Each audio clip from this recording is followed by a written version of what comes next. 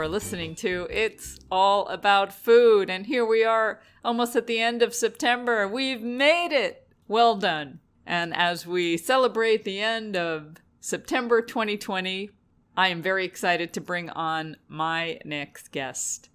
For the past three decades, Eric Adams has served the residents of Brooklyn as borough president, state senator, police officer, and coalition builder. In November of 2017, he was reelected for a second term to represent Brooklyn as borough president. Born in Brownsville and educated in the city's public school system, he is committed to ensuring Brooklyn's bright future by helping each and every Brooklynite reach his or her full potential. And now, he's written a new book, Healthy at Last, a plant based approach to preventing and reversing diabetes and other chronic illnesses. I have Eric here to talk about it right now.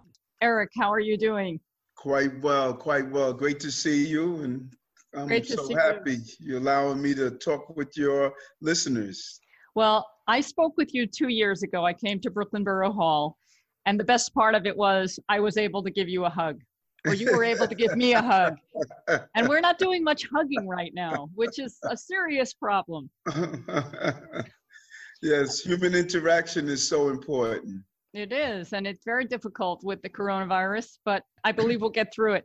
Before we get started in talking about your wonderful book, Healthy at Last, a plant based approach to preventing and reversing diabetes and other chronic illnesses, which I read and I love, I want to start the way I usually end, which is acknowledging a few people. I'm really grateful for Rachel Atcheson for yes. setting this interview up and all that she is doing with you at Brooklyn Borough Hall. She's amazing and she's so committed to, you know, just saving life. And that's important. And then uh, my friend Gene Stone also helped with the writing of the book. I just wanted to say hello to Gene and shout out to him. And, and he's a he's a good person, and just you know during the time that we sat down and had an opportunity to put my ideas together, it was just a wonderful experience. So one of the things I learned when I spoke with you a couple of years ago, many people have learned and heard about you is your story. And we get to hear about it in, in a lot more detail in the book. But just for, for those who don't know, can you give us a brief summary of your tale, your journey from diabetes to looking really hot in a suit? and, and, we all have uh, similar stories. If you're part of the, you know, the American diet and lifestyle, and one way or another is going to impact you through depression, through a chronic disease, and it impacted me and, and now I understood why it was told that at a, at a certain age you should start taking certain tests because we know after consuming an American diet and lifestyle, when you get 50, uh, this is going to happen to you. When you get 60, this is going to happen to you. And it's almost amazing that we know that and we built it into our system of sick care. I don't even like to call it health care. And so at 56, uh, I, I started experiencing, you know, vision loss in my left eye and, and in my right, nerve damage in my hands and feet. And even I had an ulcer, high blood pressure, high cholesterol. And I, my body just was breaking down right on cue, as we were told. And when I went to my doctor, he basically, he was on cue. He gave me the drugs that my mother was taken, that my dad was taken, my aunts were taken. And so it was on cue. And it was only because of great doctors that understood the power of wellness that they discovered outside of the the institutions that were supposed to be teaching wellness that I was able to reverse my diabetes and reverse the nerve damage, the ulcer, uh, the vision loss, all through a whole food plant-based diet. You were blind and now you see. Well Literally well and figuratively, right? Well said. There's a number of lines in the book. I'm going to pull them out because I really like them. One of it was when it comes to fighting all cancers, the color of your skin doesn't matter. The color of your food is what counts. well said. Yes. And and that beautiful visual color of food, the reds, the orange, the different deep colors. Once you start to see clearly, you start to appreciate the diversity of nature and how it has allowed us to just enjoy uh, the beauty of food and the taste of food. And you're right, it's not the color of your skin, it's the color of your food. And far too often, uh, we ignore the color of our food. We are so much better off, not only with diversity in our food, with colorful food, but in diversity in everything on the planet, diversity in people, diversity in different life species, diversity in different plant species. We are a healthier planet with more color and more diversity. Imagine having a garden and you only have one flower that's bland and it takes up the entire garden. There are reasons that flowers come in different colors, shapes, mm. and sizes, just like people come in different shades of skin tone and skin pigmentation, and even ideas. Uh, we have lost our ability to engage in exchanging ideas. Uh, you know, when you lost the desire to sit down and to, to disagree without being disagreeable. The greatest discoveries in humankind took place because we pushed back against the norm to create the unknown, and that really allowed us to cycle into some of the great things we have done. And so that diversity is important. If we sit in a room and everyone is thinking the same, doing the same things, listening to the same music, eating the same food, we are really experiencing the Shakespearean tragedy of why diversity is so important. Yeah, it's either a comedy or a tragedy. It's a tragedy if people die. So true. We're talking about food, but it's bigger than food. And you you brought up such a great point. We're in a society right now that is so polarized we cannot have conversation. Everybody's on one side or the other side. There's no compromise. There's no coming together. There's no listening. There's no hearing. And we're suffering as a result. We are. We are. And even in families, you know, I know families that uh, stop, you know, going to family gatherings because we are so polarized that it reach it has reached our children. And I'm concerned, you know, when we look at what's happening nationally, I don't worry about the national leaders as much as I'm worried about what's happening to us as human beings. Uh, because national leaders will come and go. But we are still here, even after uh, they leave the residue of bitterness in our communities and in our hearts. Uh, when they're gone, that bitterness is still there. And that's what the book really touched on.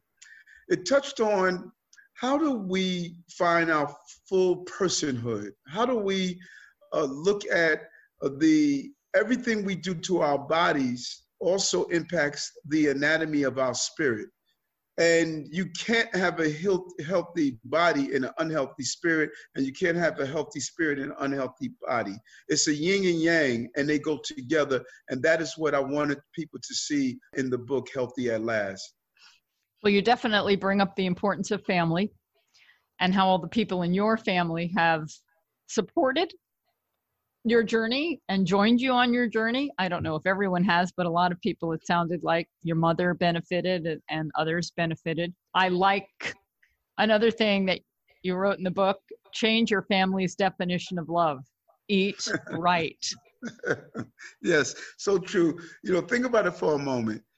Uh, we sit down on those those traditional holidays and before we eat, we pray for our aunties, our uncles uh, who are in the hospital going through a chronic disease that they may not be able to join us this Thanksgiving, this uh, Hanukkah, this Christmas. Uh, and without realizing that the food we're about to consume put them in the hospital and is going to put the people around the table in the hospital. My sisters and my siblings of, of they are experiencing breast cancer, experiencing uh, the loss of a kidney. Uh, my my brother now is going through chemo. Uh, you know, we should not define our families based on uh, the medical crises that they are experiencing. And the book is was a way of saying we don't have to live this way. And I, we're clear. It's not being uh, immortality because we know part of the contract of life states that you know there's a beginning a middle and a conclusion and it ended. But the quality of life i don't want to live to be 120 and i can't recognize my grandchild. Mm-hmm. i don't want to live long just to uh, being unable to uh, take three hours a day three days a week to go to dialysis. All of these things are preventable and in many cases reversible. And I wanted to show that in the book. Well, I read it and I really enjoyed it. It was a really easy read, and I appreciate that because you explain a lot of things science and health and food and why we want to eat plant foods, whole foods. And you did it in a way that is so easy to digest, I like to say. and that was the goal. I, I wanted to feel as though I was sitting in someone's living room or on someone's front porch on a nice warm summer day, and we were just engaging in the conversation. I didn't want it to be a textbook. I didn't want it to be that I was talking down to anyone. I wanted people to see uh, that there's nothing perfect about me merely because I am a borough president.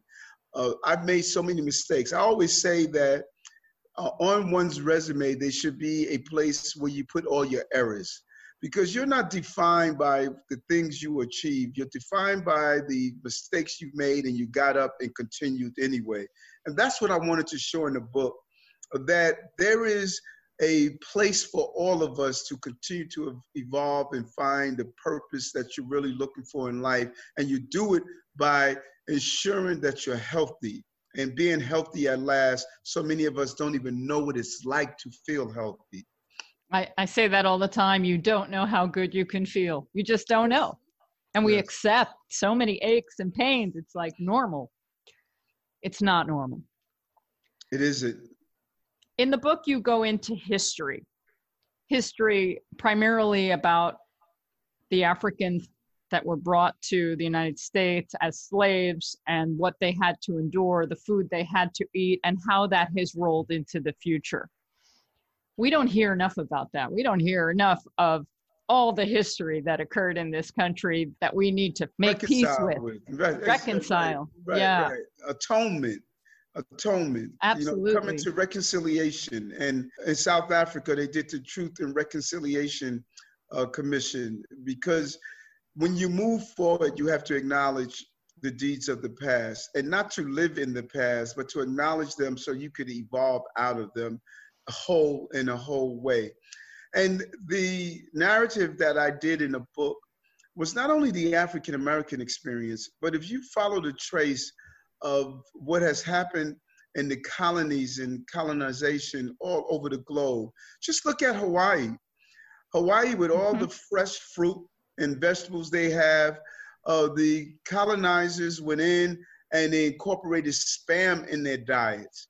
And that has been that has become a staple of the Hawaiian diet.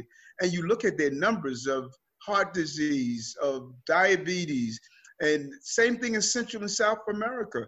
Uh, they can't even consume the food that they grow in their own country. It is being exported out. Yep. And so the story of the African American experience and handing down those recipes from generation to generation that leads to the destruction of the body and the mind from Alzheimer's and dementia is a story that is really, it could be duplicated in any other uh, country that colonizers went in and changed the culture and the food. The human species has a lot of problems.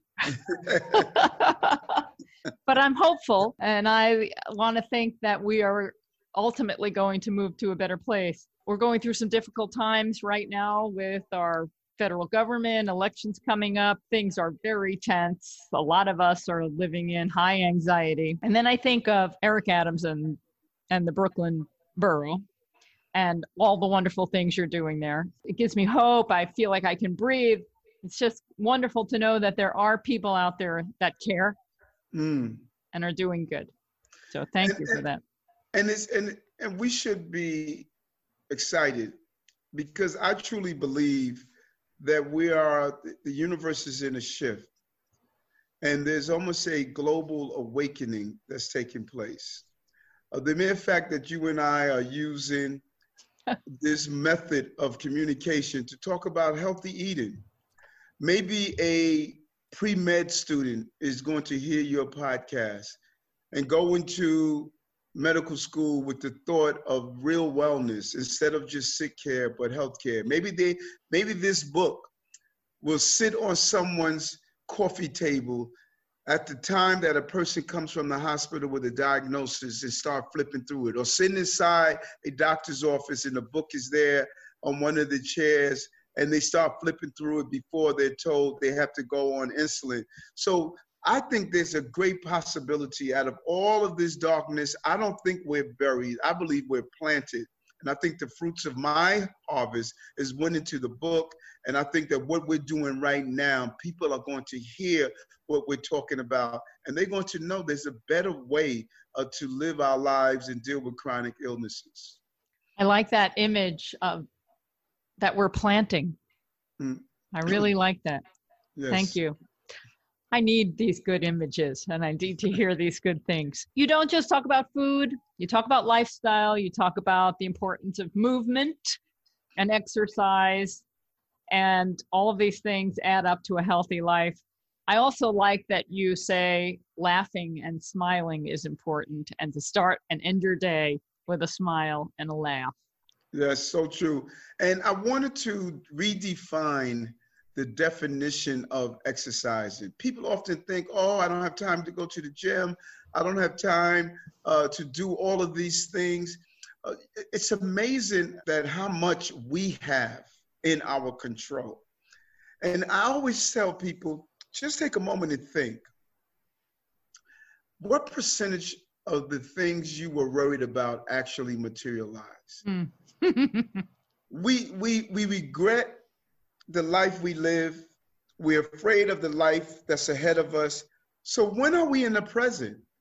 If we live 50% of our lives fearing the future, upset at the past, we're never in the present. And so I wanted to show people in the book how you can do simple things to exercise. You don't need a gym pass. You don't need a bike or you don't need an exercise machine. Take the stairs, walk, stand, have a standing desk, you know, get off the bus stop, one stop before yours, and walk to your destination. You know, park your car several blocks from your houses of worship and walk there. And don't try to, instead of trying to find a space right in front of your office or right in front of your store, walk a little, carry your bags two or three blocks to get that exercise in. And so I wanted to show people how you can take control of your everyday interactions and have a place in how you make yourself healthy at last? Well, we've definitely been programmed perhaps to look for the convenience in life. Yes, yes, and, so true. And it's not good for us. It's not. It's yeah, not. I live in Queens. Uh, now, I haven't gone grocery shopping in six months. I'll confess. I get everything delivered now and it's nice, but I'm doing it because I'm staying inside. Right, right, right. But we have a Trader Joe's not far from here and a grocery store about 20 minutes away. And we used to always walk and carry some pretty heavy bags because it was right. full of plants. Right. Right. and it, it was it was a workout. Right. And, and you know, really, and that's what I wanted to show in the book. Think about what we are becoming. We're becoming isolationists. We're creating this new environment where we communicate through Twitter, Facebook, or Instagram. We're not in the supermarkets where we may see Miss Jones from down the block and talk about how are things going in your garden. Uh, we we're not even in uh, the places that we normally socialize. And we when we cycle out of COVID, how much of uh, how many of us are going to cycle out of the isolation that we're living in? Or have we have we normalized being isolated? That's the real concern. And i wanted to, i wanted to show in the book that how do we really start healing? That's why i talk about meditation I talk about taking time. I talk about breathing, something mm-hmm. that we do every day, all day, but no one has actually stopped to teach us how to breathe correctly. Yeah. You know, I talk about the power spices and how important spices are, not just salt and pepper. And I really wanted to bring people into a place of saying an aha moment. And that's what I was hoping to accomplish. No, I think you accomplished that and much more. On the subject of breathing, which I like to talk about a lot on this program, and we like to say we breathe for a living. when the pandemic started, we talked a lot about breathing exercises, and we learned that people that were going through the illness, that doing breathing exercises, really vigorous ones, even though it may have been difficult, was very helpful and important in overcoming the virus. Yes. So, to strengthen your lungs and open your passageway, that we need to learn how to breathe. Yes, yes, yes. And it should be it should be incorporated in our traditional settings such as schools. Mm-hmm. Part of the curriculum should be teaching people self-care. We should give instructions on meditation. We should give instructions on breathing. We should give instructions on uh, how to really find inner peace. We have a collective collective audience in our schools. It should be more than just young people being academically smart. They should be emotionally intelligent, and that is going to define uh, who we are. I was in Bhutan uh, a, a few years ago, and they don't look at a they don't determine the health of their country by the gross national product. They do it by happiness. Yep. And, and, and we are looking at the wrong things to determine if we're healthy as a country. We should be looking at how strong are our families? How happy are we every day? Uh, how much is our human interactions? But that is how we need to start defining ourselves. We have to unlearn what we learned so we can learn how to be whole again. I agree with you. And you're the kind of leader I want for my city and my country. we're in this together and we're going to continue to grow together. Yes. Just a few more things and then I'll let you go because I know you're working really hard and I don't want to take too much of your time. You talk about not drinking soda anymore and that your choice is water. Sometimes you go for seltzer and sometimes you drink cold brew tea yes. and you even eat the leaves Yes, uh, right. You know, but but imagine imagine having collard greens, and you only drink the juice from the collard greens, and you throw out the collard greens, or or you only drink the juice from kale, and you throw out the kale. There's a lot of nourishment in those leaves, and I use uh, sometimes when I make my soup, I will open uh, a couple of bags of green tea and put it inside, or hibiscus tea uh-huh. and put it inside. And you can eat the leaves; they're not poisonous. You know, right. we we think that the leaves are poisonous. If the leaves are poison, leaves are poisonous, then the tea was poisonous. Right. you know. So yes, I do. I, I love to you know put the leaf and drink the, the leaves down with the tea. I love it because I don't like wasting anything. so I was I was very excited because for some reason i never thought of doing that. But you know you talk about drinking the juice from the collards and and not eating the leaves. People will cook vegetables eat the vegetables and then there's the steaming water or the boiling water. Right. We need to drink that. All the vitamins right. are in there That's right? right. That's right. So true you know? Okay so you have this wonderful book healthy at last. I love it. I'm so glad that you saw the light you can see, you got well, everything's wonderful. And can you just talk a little bit about what you're doing in terms of food and nutrition in Brooklyn? I know that just today, Rachel shared the nutrition education for physicians and health professionals policy opportunities for New York. And that was exciting to read. I read that very quickly before talking with you. Such a good report because we have to change our institutions. I can't tell someone what to put on their grill in the backyard or what they put on their kitchen or dining room table. But government should not be using taxpayers' dollars to feed crises. We should not be serving poisonous food in our schools in our hospitals, in our correctional facilities, in our different places that we feed people. We should be using those opportunities to introduce people to healthy food and healthy food choices, particularly in the time of coronavirus. Uh, we should have used the opportunity that we serve millions of meals. They should have been healthy meals, not meals that, that depleted the immune system, but actually strengthened the immune system. So we have been doing some amazing work. We were we were successful in convincing the city uh, to take processed meat out of our city. We're no longer buying and purchasing processed meat. We have a great program at Bellevue Hospital, the first of its kind of lifestyle medicine with amazing doctor, Dr. McMacken. We moved the schools to do meatless Mondays and our hospitals to do meatless Mondays.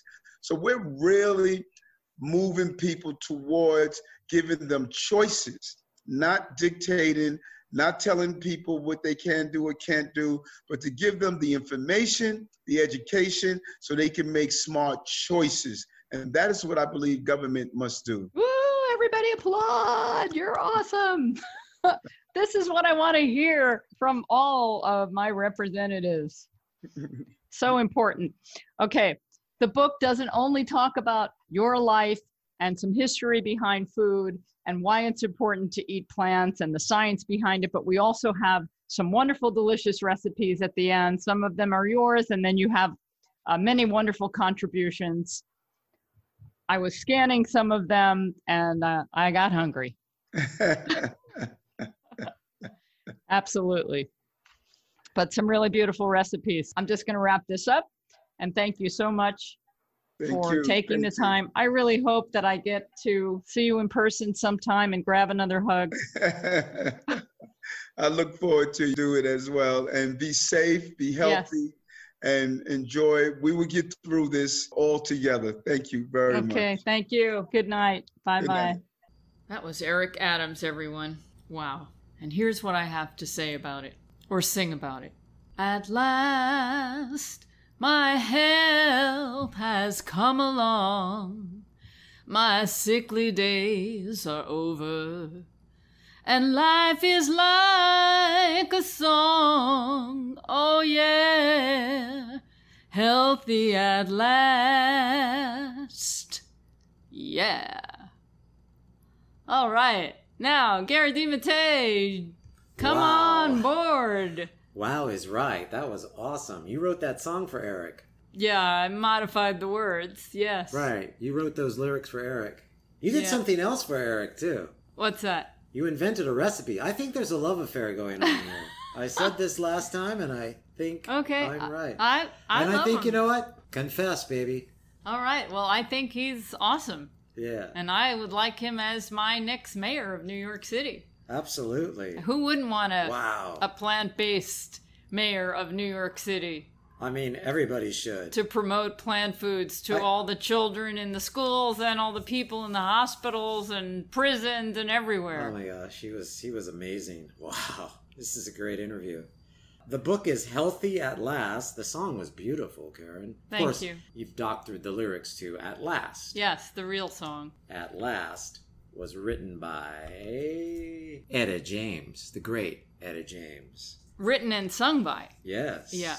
Anyway, listen to what some of the people are saying about this book. First okay. of all, some of the people that read this book and reviewed it, unbelievable. Have I you, know. Have you read some of these? Yes, I have. Did you read them out loud to the. I have not. Okay. Go for it. Let's start with Reverend Al Sharpton. My favorite. Yeah. I can personally attest to the truth Eric shares within the pages of Healthy at Last. Eric's book will empower you to change your life and the lives of those around you. Now, Al Sharpton is also a vegan. He is, and I want to say he's huge, huge, but he used to be huge, and now he's a little peanut. Now he's very tiny. Because he eats flat foods. Yeah, he's awesome. He's always been awesome, but now he's he's tiny and awesome. Yes, we like that. Still very powerful. Yes. Dean Ornish, MD. Heart disease, type 2 diabetes, early stage prostate cancer, hypertension, and other chronic diseases may often be reversed and prevented by changing diet and lifestyle.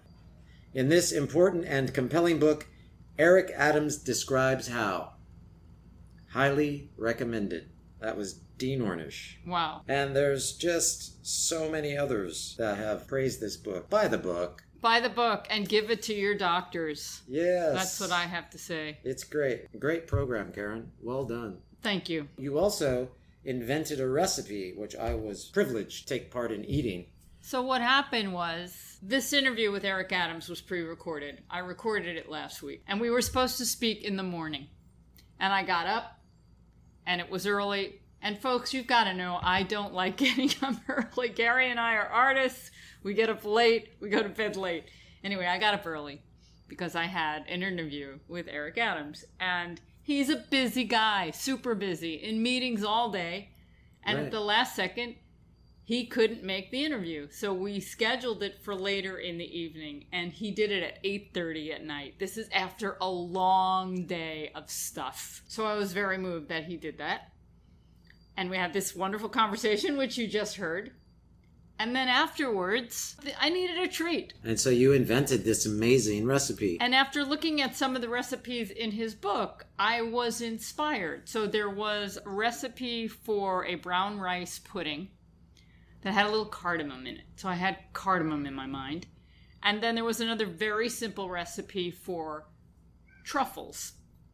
But when we talk about truffles, we're talking about the kind made from fruit and nuts that you grind up in a food processor and then make little balls out of. Mm-hmm. So this particular recipe, I think it had cocoa in it, a couple of other ingredients.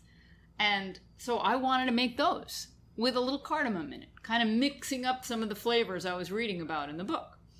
But it was at night, and I didn't want to make it with cocoa powder because we're both sensitive to caffeine. But we have carob. And okay, folks, you've heard me say this. You should never use carob when you want chocolate. They have very different flavors. But I thought I should try the carob with some dates and some other ingredients and a little cardamom. See what happens. You're going to post the recipe, yes, right? it had a little coconut in it. The dog likes it. we have a dog now. And we actually have several dogs. Yeah, out in the park. So it has dates, carob. I put a little chia seeds in it, walnuts, coconut, vanilla, and cardamom. And you rolled it in coconut. I rolled it in coconut too. There's both coconut in it and then rolled, kind of looks like sprinkles. It makes it fun. Yeah, It was really quick to make, really easy. They we devoured them, they were fantastic. And what did you name these? and then I named them. Are you ready, folks? you have to do it in a Brooklyn accent. I named them, forget about it. No, I named them Brooklyn Borough Bulls. Brooklyn Borough Bulls.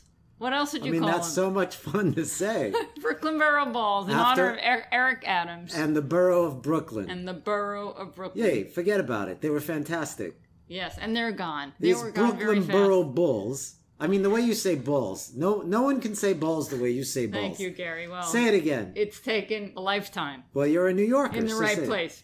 Brooklyn Borough Bulls. Bulls. Bulls. I mean, that's brilliant. It's brilliant. Forget about it. Forget about it. These were delicious Brooklyn Borough balls. Brooklyn Named- Borough Balls. And they're my honor of favorite kind of dessert, Adams. actually, when you grind up fruits and nuts, dried fruits and nuts. It makes the most spectacular sweet treat. One more time, Brooklyn Borough it. Brooklyn Borough Balls. That was Brooklyn Borough great. Balls. That's great. You know, it's one of our favorite things to do is to go into Manhattan and go to Westerly and get some of those date rolls Oh, yeah. rolled in coconut, and these were even better. Thank you, Gare. These were better. All right. Yeah. Well, it's a good thing because we haven't been to Westerly in over six months. Yeah, but we're going to go on Thursday, right? Yes, we've made a commitment to. Head into Manhattan on Thursday. Yeah, we'll report on it next week. Yeah. We're gonna brave. We're going to brave the. We're gonna brave this uh, situation we're all in, and A lot of people are getting out, though. That's really kind of a yes, cool a lot thing. of people are, and we want to be a part of that. Of course. We live here. We should start venturing out. We should start living. Living, masks living on. it up with masks. Yeah, We were just in the park the other day, had a little bike ride. I saw signage everywhere that said, If you're not wearing a mask, stay six feet apart. People seem to be complying. There were like maybe half of the people with masks and half of the people without masks. I know that the schools are going to come back into session soon, right? Mhm. And for those of you celebrating Yom Kippur, Yom Kippur, yeah, that Yom- just finished up a couple of days ago. if you were fasting and then broke fast, let's talk a little bit about Okay. fasting because you know, fasting for religious reasons is one thing, but people actually fast on purpose for health and medical reasons, right? I know you've talked about it on the show before, but It's always good to talk about fasting. yeah, I so- think to remind people about fasting because, frankly, I forget. right, I got to remind myself. right. And one day, Gary, maybe we'll do a fast together. Oh, gee, that would be exciting. I can't see that lasting long in our house, but yeah, okay. we like eating, but I want to remind everyone that once upon a time, back about 21 years ago, I did a three week water only fast. And I found it a very enjoyable experience. The funny thing was, I did the first half, so the first 10 days, I did at home. And then Dr. Fuhrman at the time had a fasting house where he had people come to fast and he would monitor us. And so the second half was at this house. And it was in a place in New Jersey which was near one of these um, outdoor malls with stores all around. And one of the stores was a Pyrex store, a Corning store. Corning, right. And I used to walk out of the fasting house and go for a walk. Now I was at a very slow pace Right, because everything slows down. Right. and it's supposed to slow down because you're supposed to be resting and letting your body naturally cleanse and detoxify. But I would go and I would go into this Corning store and buy stuff for my kitchen. So I wasn't eating, but I was thinking about, oh, I guess I was thinking about food and I would imagine you were thinking a lot about food when you fast. The fascinating thing is, this is the honest truth because, folks, I only tell the truth. After two days, your body starts feeding on its own non essential stores. And we all have plenty of non essential stores in our bodies. And you're not hungry. So apparently, it takes two days for women and three days for men. I imagine that it's a little different per individual. But when you're doing a long term fast, you will not be hungry after the first few days. Really? And it's true. You're just not hungry. And what's the purpose of fasting? What happened was I read Dr. Fuhrman's book, Fasting and Healing for Health. I think this was his first book. Mm-hmm. I recently told him he should put a revision out or an anniversary edition because people are now talking more and more about fasting. And it was such a great book. And I just got the idea that I should fast because he was recommending that people should just fast every five to 10 years, like as a cleansing or a detox, even if you're eating the healthiest you possibly can. We're living in an environment that's a disaster. And we get stuff in our bodies that doesn't belong. And our bodies are pretty good if we treat them well at detoxing. We do it all the time. And that's why sleep is so important because that's when a lot of it happens and we rejuvenate and detox, all that stuff. But he was recommending once every five years to do a water fast. And it could be a week, could be two weeks Where you just go for two weeks without anything but water. without anything but water. And then there are people that are going through a health crisis, and a water fast isn't appropriate for all health crises. And I'm not the one who's going to tell you if you should do it or not. You should Consult a doctor. consult a doctor who's an expert in water fasting, like Dr. Fuhrman or Dr. Alan Goldhammer at the True North Health Center in California. But it can be very beneficial and very healing very quickly for a lot of people who are experiencing something very traumatic. Because I remember it was either in Fuhrman's book or Dr. Shelton's book, which is also an old book on fasting somebody told the story about if you look in nature and see what animals do when they're hurt or wounded. Very often they just go somewhere where they can rest and they just lap up a little water as they can. They fast until they heal. And what happens is the body shuts down a lot of its functions or slows them down and is able to focus on the areas that need healing. There have been stories of people with tumors, let's say, and they fast and the tumors get smaller or disappear because the body kind of digests them. It's not a cure all for everything, but people are realizing today, as opposed to 20 years ago, that fasting is health promoting. Well, that's that makes sense because you're feeding your tumors if you're eating the wrong food. Eating the right diet, a plant-based diet, can actually Help your body fight the tumor. fight the tumor. Yeah. That makes sense. it's funny, funny, sad. When I did my fast about 20 years ago, the people that I told I was doing it were all very up in arms. Like, oh my God, that's so dangerous. What are you doing? Now it's a lot more accepted because it really isn't dangerous. And everybody would say, you're going to starve. Everybody or just your mom? No, everybody. Oh, really? Everybody I talked to. Okay, 'cause you- everyone. You, were imitating Okay, your mom just now. It's so true. Mom, I'm doing your voice. but I'm sure she I'm sure she protested as well. Of course she did. That's because she loves you. Yes. There's so many things that we do to our bodies that are so damaging and and doctors they don't bat an eye because they don't know or they don't think that they can convince you to do otherwise. I don't know what it is. Even in in Eric Adams' book, he talked about a friend of his who was in a health crisis and he spoke to him about diet and when the guy talked to his doctor, he wanted to know what his doctor thought of a plant based diet. The doctor never recommended it to Eric's friend. But then the doctor said, Yeah, I think it can help. I do it. But the doctor never recommended it to his patient because he didn't think he'd do it. And there's a lot of that going around. Buy Eric's book and give it to your doctor, everybody. Yeah. Healthy at Last, Eric Adams. If we have anything to say about it, he will be the next mayor of New York City. So fasting again, there's water fasting, and that's what I'm talking about. But there's other kinds of fasting. There's juice fasting, and that can be beneficial too, just to simplify what you're putting in your body. But another thing about fasting that's fascinating, That's fascinating. that's fascinating exactly, is if you are choosing chemotherapy as an option for cancer treatment. hmm I'm not saying I recommend it. I'm not saying I don't. I think it may be appropriate in some cases, not appropriate in others. That's for you and your doctors and your experts and your circle to decide. But some recent studies have shown that if you fast the day before getting chemo and during chemo, the chemo will be more effective. Wow.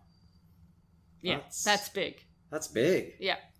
That's big news. So there's a lot of benefits to fasting. So this is not the same thing as what just happened for Yom Kippur. You know. right? Because after a day of fa- after 24 hours of fasting, what's traditionally what do people eat? Oh, I'm so glad you brought that up. Right? Because okay, so after after a health fasting, like the Dr. Fuhrman kind of Mhm. fasting, you're supposed to just eat little tiny bits of food after you fast, right? Especially if it's a long fast. Right, right, right, But right. but any fast where you're doing it for health purposes, Mhm. when you start to refeed, you don't want to be refeeding with food that isn't good for you. Then there's no point in fasting, and it can actually be more dangerous. Okay. So what just happened with the religious fast of Yom Kippur? A lot of people traditionally after they break well, they it's do this party thing, time. They, do don't this thing eat. called break fast, right? yes. Which is like breakfast.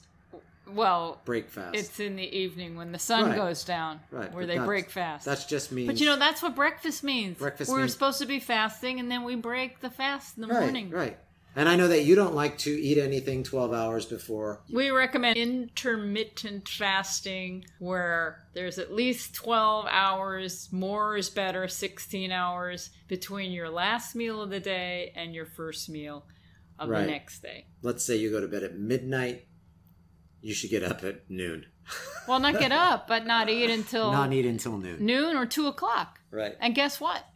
That's what we do most of the time. Hey, works for us. It does. We get up, We have a little We tea. don't wake up at noon. No, we, wake don't wake up at noon. We wake up at eight. We get eight hours if we go to bed at twelve. Right, right. and get up and then we have a little beverage a tea we'll go for a walk or do an exercise or whatever and then by the time it's one o'clock we're ready to make a meal so get back to now breaking fast for Yom yes Kippur. so rather than breaking fast from a health promoting a therapeutic type of fast dr fuhrman would give you steamed zucchini maybe a half of a zucchini steamed the first day you're breaking a long fast. Now, that's if you have a long fast, but you want to start up slowly because your digestion has stopped. Maybe a little watermelon. You start slowly with a little food and very juicy food and no salt.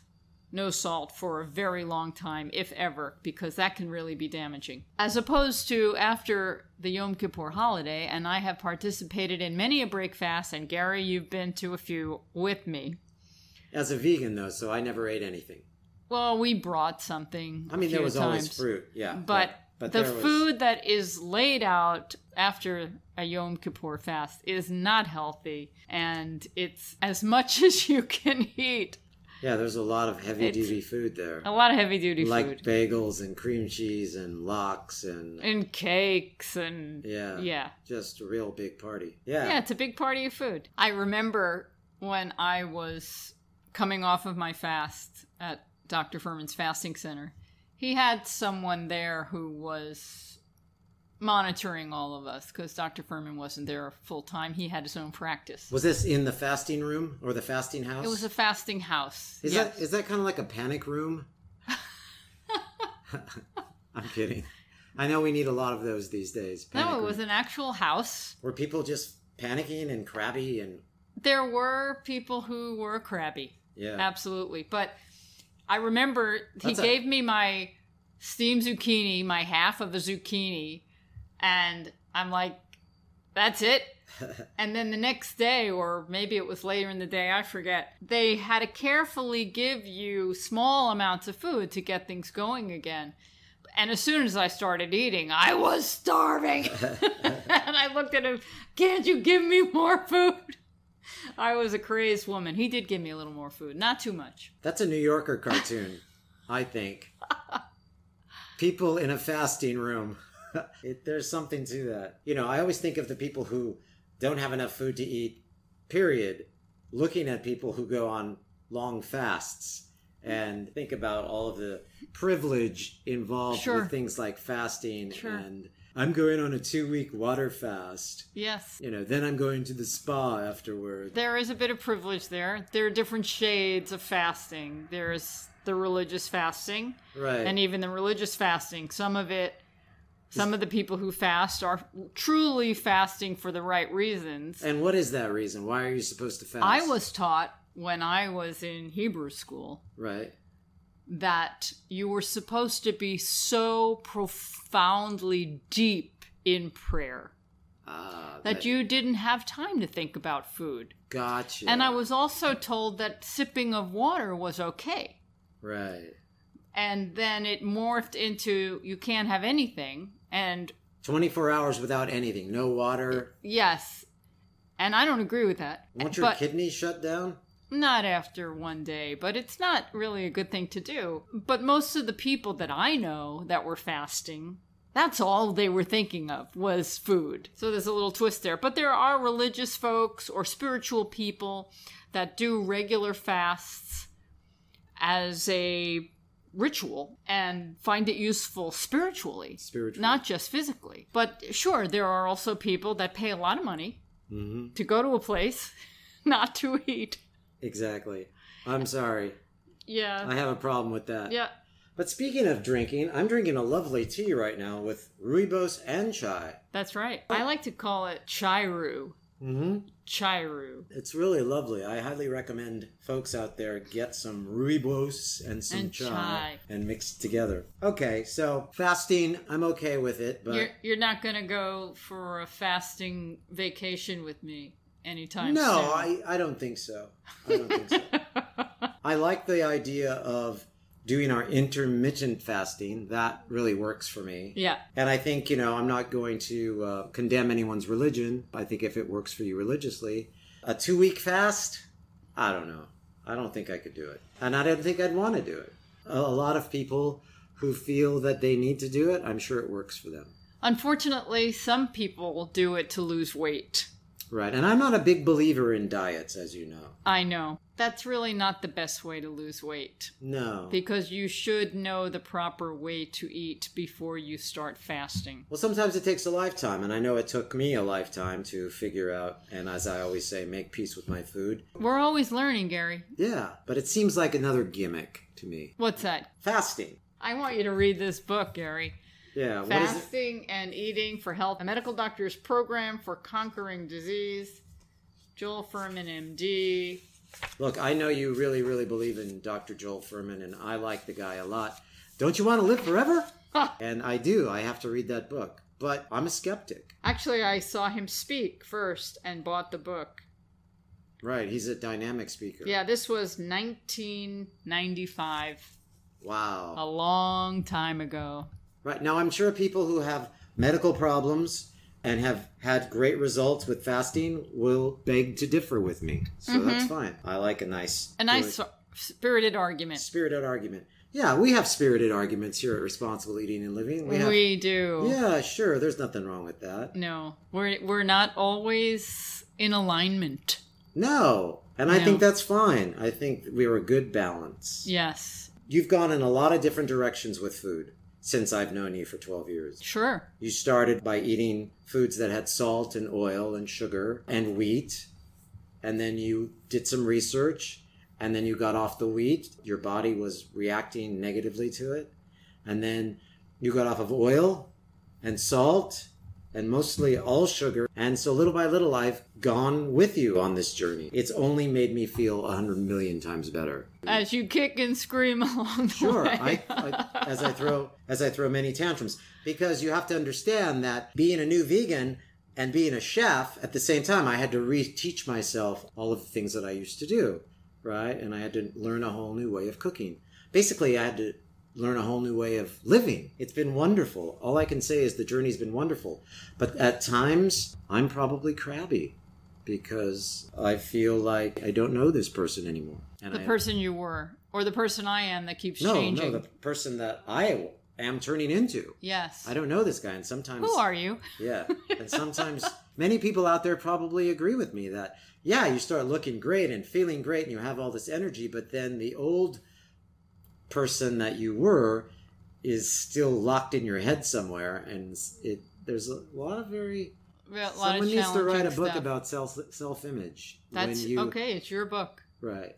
No, I think my book's title is going to be instead of fasting and eating for health, it's going to be slowing and, and eating for health. Okay. I think the key is to eat Eat- slowly. yes, eat slowly. Yeah. Yeah, really- we have to remind ourselves of that a lot too. Right, because I think as a vegan too, you just like you said, as soon as the fast broke, you just wanted to eat. Yeah. Right? And as vegans- me. At vegans, there's no guilt attached to what we eat, especially the way we eat. So we want to eat, and we want to eat now, and we want to eat a lot.